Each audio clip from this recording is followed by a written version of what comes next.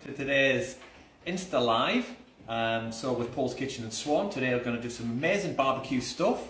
I've got two awesome, quick, really cool, trendy ideas other than your normal ideas like bangers. I'm going to do a stuffed cheesy sausage in a garlic bread. Absolutely amazing. And a quality surf and turf burger. So, let me make a start. First of all, look at the gorgeous weather. Absolutely brilliant. Got my barbecue ready to go, fired up. So let's start. I've got, these are like part baked rolls. So you get them everywhere, you just have to finish baking them, they're sort of two thirds, three quarters cooked and you finish them off in the oven. But these are the ones you need to buy, any shape, normally small like that, white ones are best, um, and that's what you want to get. So what I'm going to do is, you just cut off the top section, like so, maybe a little bit more, and you got like a little boat. Now these are brilliant to be kept for things like croutons, toasted, great little snack with peanut butter. Maybe two I think. And then what we're going to do is once we cut them like that, I'm going to get a spoon and if you just carefully, I'm just going to cut with the tip of my spoon around like so and I'm making the idea is to make like a boat. So you can see where I've cut the bread there. Now I just scoop the bread out carefully. Like so. Without cutting all the way through the bottom. And I'm just basically hollowing that out.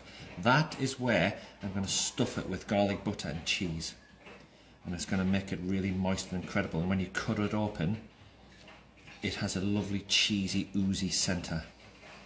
So let me have a look. Nearly ready. See how I've done that? Nice and easy. Just with your fingers, just press it and you can see quite clearly there. That's my first boat done. I'll do another one, show you again. Leave a little edge that keeps it all from falling apart and the best to do these part baked buns because you want to cook them in the barbecue. You don't want fully baked ones. It will work with fully baked ones but if you do it with fully baked ones maybe the best ones to do would be something like uh, something that's slightly stale something a couple of days old you'll get a similar effect. So get the bread out. Like that. Squish it down And by the way, if you've got any questions, fire them away. I will answer them if I can. There you go. A bit more from there. And there is my lovely boat for my sausage. I'm just going to get rid of all that extra excess bread. Like so. Now, next thing, garlic butter.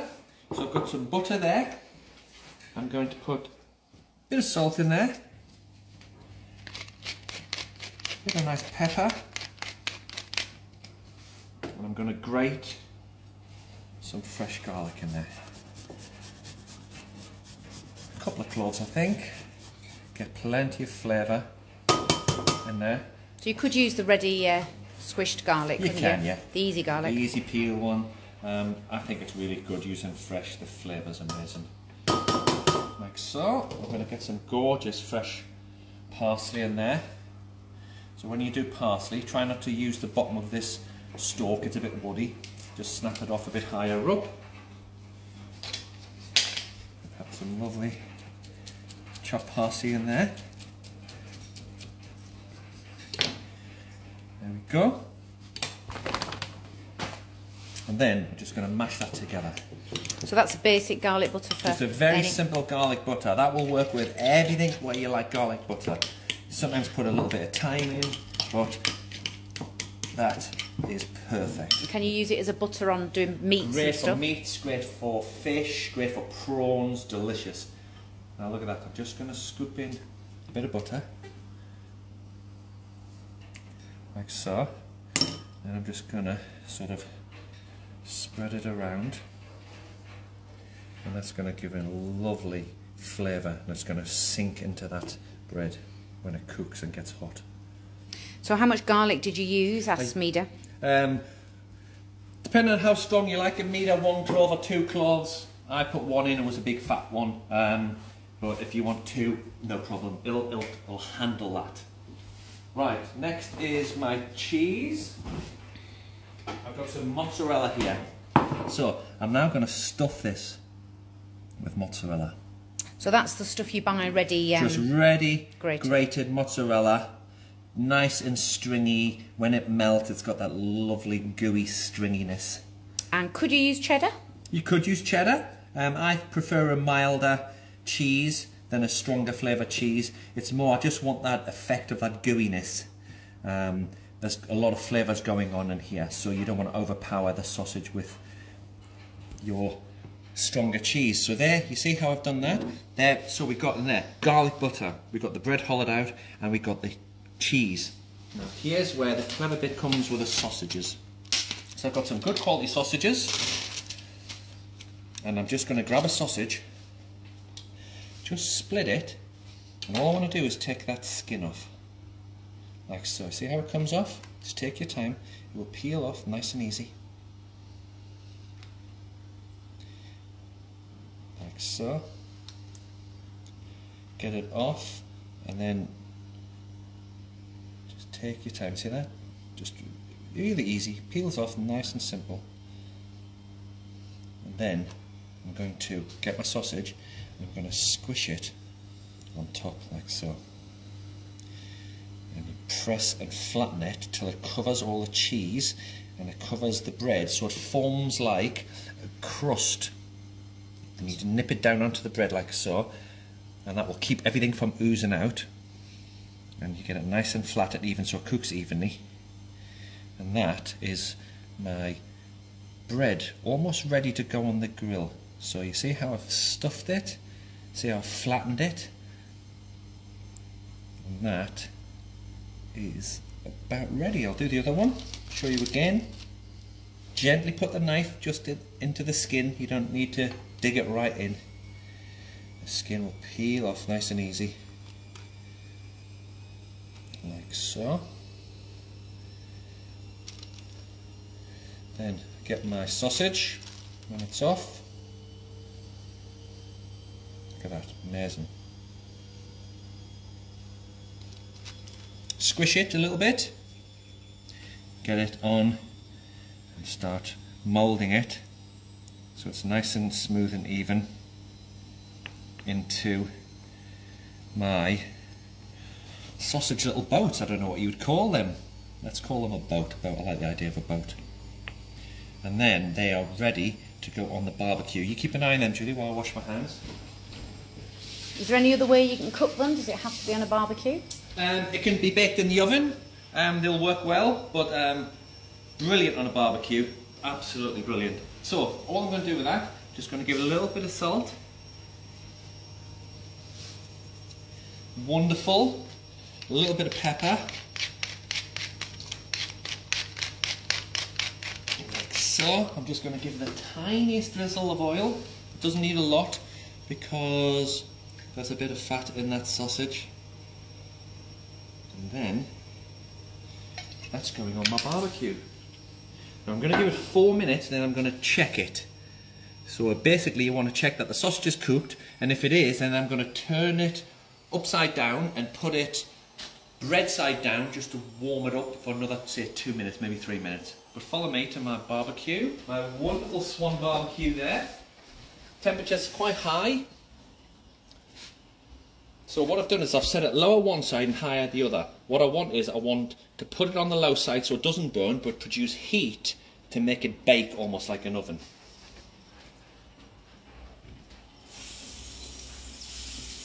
So that's sausage side down. Sausage side down, see that? Boom. Nice and simple. Get right in, have a look. I've set my timer for four minutes. Now what I'm going to do with that is I'm going to serve it with just a very simple tomato chutney. Um, nice bit on top. You can do chili sauce, you can do barbecue sauce, whatever you like. I like barbecue sauce, but we tested that this morning for breakfast.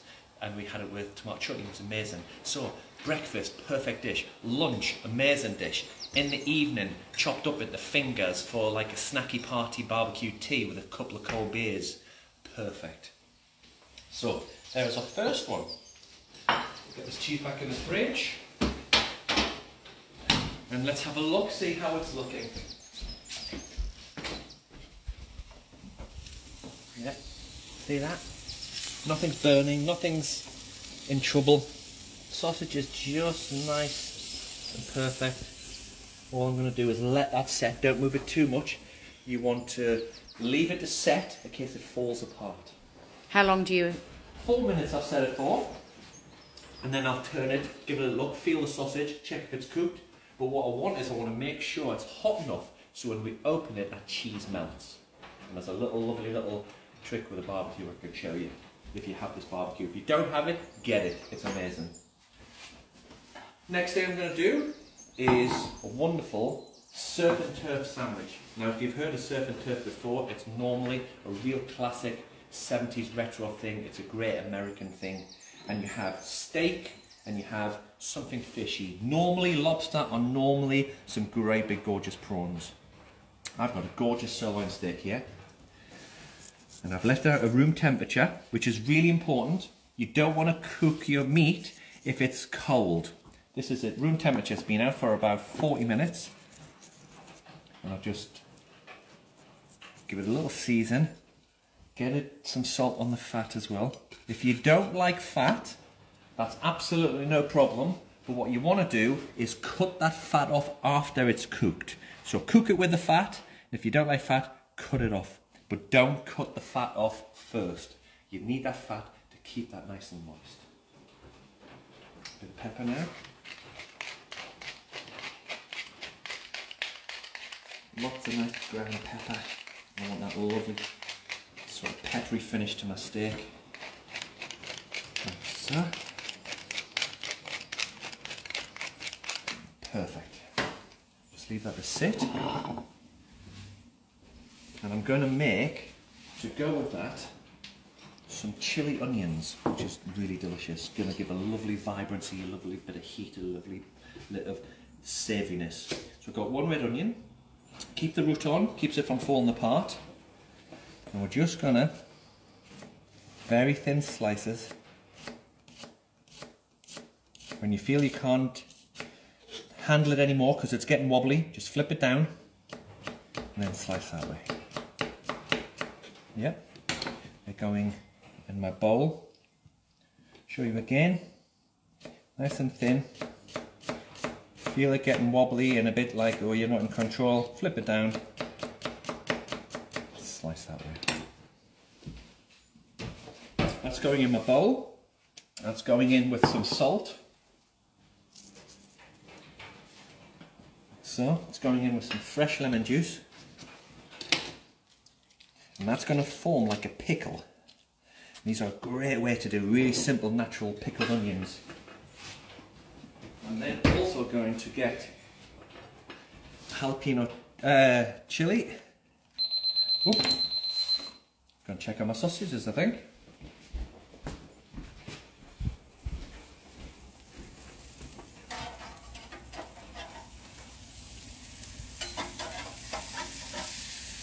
Perfect.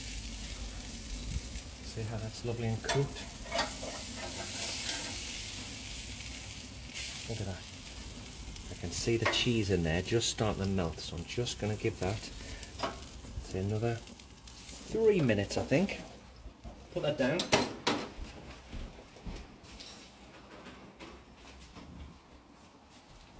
Once that comes out, we let it rest a little bit, a little bit tomato chutney on. But let me get back to this. So we've got onions, we've got salt, we've got lemon juice, we've got some fresh jalapenos. I'm just going to do some slices of them. So These have got a nice bit of spice to them. Leave the seeds in if you like it hot. If you don't, take them out. All the heat is in the membrane and the seeds. Me, we're leaving it in because it's hot. And they will give a little kick. So maybe it's best if you're doing these to serve this as a separate side dish and then you can gauge how much you want to put in. But there's my lovely chili onions there. And that will melt down in the vinegar, or marinade or soften, and that will give a lovely piquancy to the burger. It's going to enjoy having the lemon with the prawns, and that will work really well.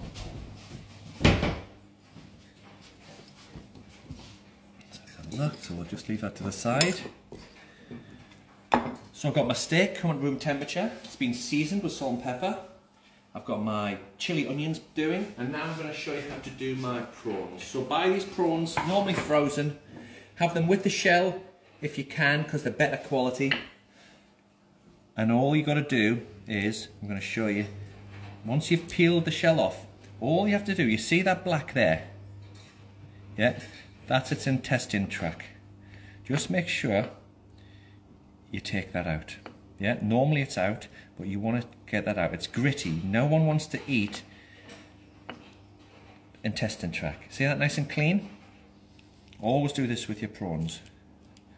Just check every prawn, perfect and clean. Do they come cleaned? Some do, but some don't. So you see that there? Even these are ones that are supposed to be cleaned, but I check every single prawn. It's really important. There's three. And then that's the last one there. And all I'm going to do with that is I'm just going to slice it in half, but not all the way through, and just flatten them so they look a little bit like what they call butterflying. And they will cook really So you're going to barbecue evenly, these? and these are going to get barbecued. Look at that, gorgeous. Any questions, guys? I'm please, just going to watch um, my hands. You keep an eye there. Yep, any questions, guys? Please fire away. So there we go. I'm going to just put on there a little bit of salt, a little bit of pepper. It's a perfect dish for this weather today, isn't it? For barbecue weather. Absolutely brilliant. We're going to have this for lunch. Obviously, we're really spoilt here. There's a little bit of olive oil, and they're ready to go on. Perfect timing. Gives me an opportunity to have a look at my bread.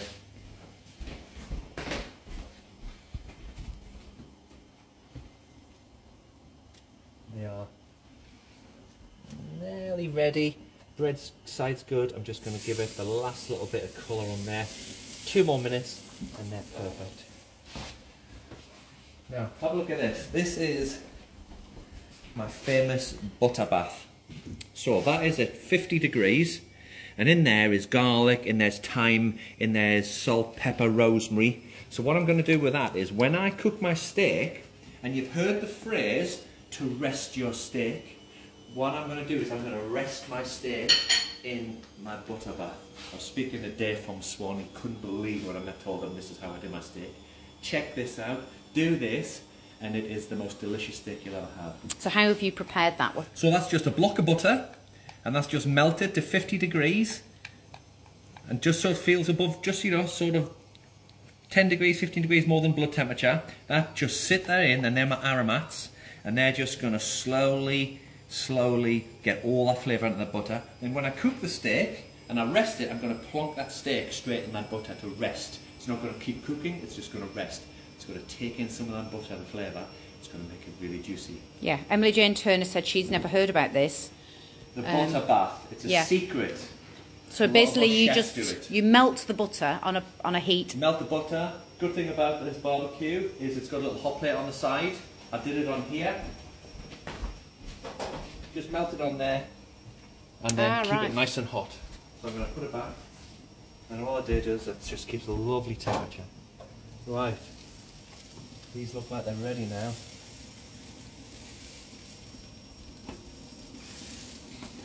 Look at that. That looks good. Perfect breakfast dish, isn't it? A nice brunchy dish with an egg, maybe. Get- You can actually do this, Julie, with an egg. You can put your egg inside instead of your cheese, Oh. and you can bake an egg in it. But this is a great. What, like scrambled egg? Just as like a whole egg, and it'll bake and poach like a poached egg. Oh, okay. But there is my breakfast there. I'll bring these over. Now I'm going to turn that temperature up because I want to cook the steak nice and drilled. Come and have a look at these. You have no idea how delicious these are.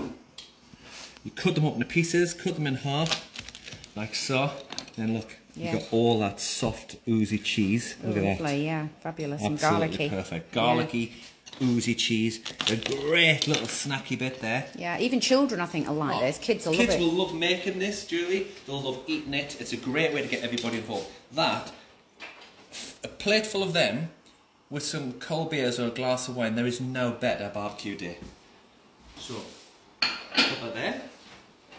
And let's cook the steak. So, I'm gonna put just the tiniest little bit of oil on the steak, not a lot. Just to help render that fat out. There we go. And this is going to take literally two minutes each side. That's it. I like my steak nice and rare. If you want it more medium, do three minutes each side. If you want it well done, do four minutes each side. Also, get your steak the thickness to your thumb joint, sort of that size. That's a good way to make sure your steak is thick enough to cook it like that. What cut of steak is it? This is sirloin. Really delicious. I'm Gonna get that on. Yeah. Lid down. Two minutes. I'm going to serve these today in some nice brioche. Now, I'm- what's good about these brioche buns is they love to be heated up and they love to have a bit of juice and butter. So that lovely steak butter, I'm going to brush some of that on before I toast these on the barbecue. Get more of that steaky, buttery flavour in the bun. No one said it's going to be super healthy for you, but it is going to be super delicious. So, these are just nice, simple shop bought brioche buns. Make sure they're cut in half, nice. This is going to do one steak will do two sandwiches. Obviously, you can use normal uh, You can use buns. uh, burger buns. You can use. I quite like the classic burger buns with a uh, little sesame top. That's quite nice. So they work perfectly well as well. Let's have a look. Definitely hot. Temperatures right up. Look, temperatures creeping up to 250, exactly where the best grilling temperature is. Look at my butter there, sitting nice and warm, getting all that lovely flavour Yeah. in there. You can smell it. It smells amazing. Yeah.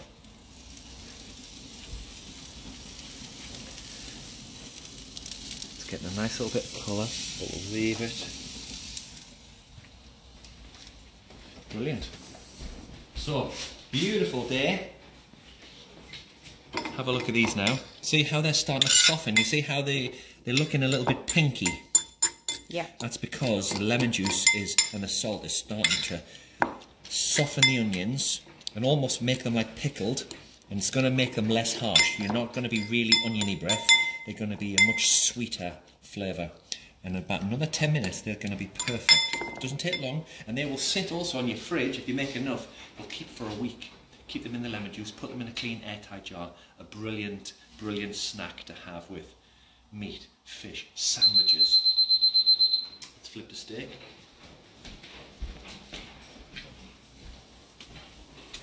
There you go. Should have a nice bit of colour on there now. Look at that. How good does that look? Oh, it's good. So it was two minutes. Two minutes, now Yeah. look how the fat's rendering. Yeah. It's not super burned. The lid's down, which ex- when you put the lid down, by the way, when you barbecue, if you have a barbecue with a lid, it stops it flaring up and it stops it from burning. But if you do get a flare up, here's a lovely little hack what I do. This is a clean bottle spray, but in there I've got water, apple juice, and apple cider vinegar. And what this is good for is if you get a flare up, or you want to keep your meat from stop drying out, you just give it a little spray. It doesn't make it vinegary, it just makes it sweeter and it makes it like a really great flavour when it mixes with the salt and it keeps it from flaring or burning. Brilliant idea. Don't use a chemical bottle, get a brand new clean bottle, clean it out properly, and then this makes an absolutely wonderful essential tool for your barbecue. That was a good tip, wasn't it? Right. Got one minute left.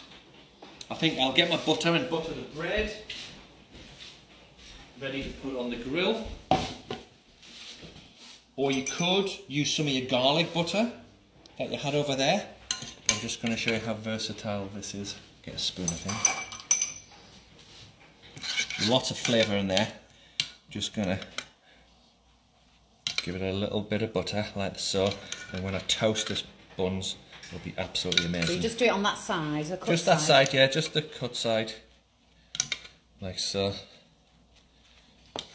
And if you could smell this, the lovely smell of the rosemary, the garlic, the thyme. Where will everyone get the recipe for this? The recipes, I can uh, post it online if people want them. I can put them on Instagram. I'll uh, send them over to Swan and we can load it up on there. Or you can put it on Follow Paul's Kitchens page and I'll get them up on there. Right. Right, let's get this bread now. Steak's done. gonna rest my steak now. Let me just feel that. That is absolutely perfect. So that steak goes in there. So, into there. And all I'm going to do is submerge it into the butter and then put all the herbs on top like so and that's resting in that gorgeous butter now that looks insane don't you think Yep, smells good. That is a butter bath. Do that. And the difference of your food will be phenomenal. And remember this butter can be reused again. Chill that butter down. Put it in the fridge. Do it again the next day or do it again next time. Or keep for a couple of weeks. That's a great way to put maximum flavour into your steak. All I'm going to do now is toast my bread. So. Get my prawns ready. You don't want it too much, that's fine. Check you don't burn them. No, all good, all good. I'm going to get my prawns on to grill.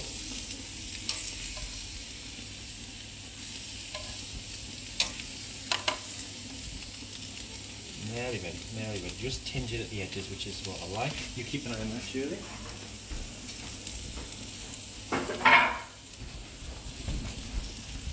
And they should be ready now. That's what you were looking for. You see that lovely just tinge?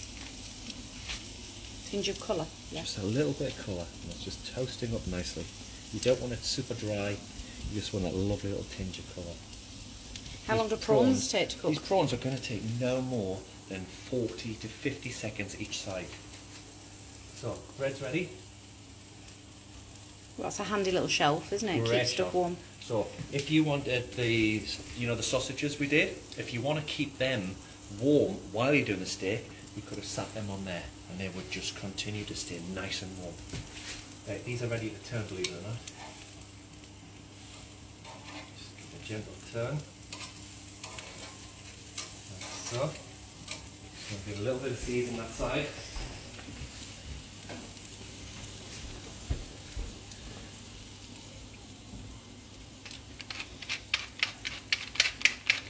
Gorgeous. Okay. Put a bowl for them. Nearly ready. The steak is resting nicely there. Just going to give that a turn.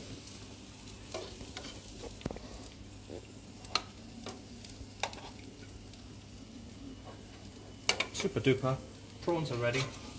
Nice and moist. You see how they've gone slightly opaque? Yeah. That's where we're looking for. We don't want to overcook these prawns. Gorgeous prawns. Let's get my bread, which is nice and hot. Do you need this steak bringing over? I'm going to bring it over now. We are done.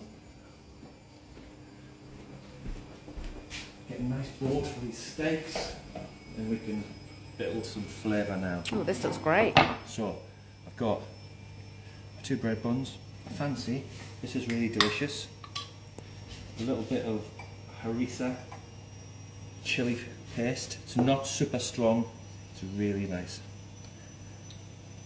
That seems a lot, but it, I've got to tell you, this is just very fragrant. It is not super hot. It's just very, very mild. A little bit of chili on there. I've got a little bit of my garlic butter here, which I'm just going to put a little bit on my prawns and let that soak in. Like so, which is delicious. And then I'm going to That's a dish steak. on its own, isn't This it, those is garlic prawns? Insane. So I've got my steak here. And of course, remember, I like it rare. So you'll see that when I cut it. How beautiful and pink it is. Look at that, that's perfect. That's how I like it. Yeah. I leave the fat on, but if you don't, this is where, because Julie doesn't like the fat, so now I would cut that off for her. Then I would cut hers this way so the fat's off. Look at that, gorgeous and rested, swimming in delicious butter. I'm to put my steak on there.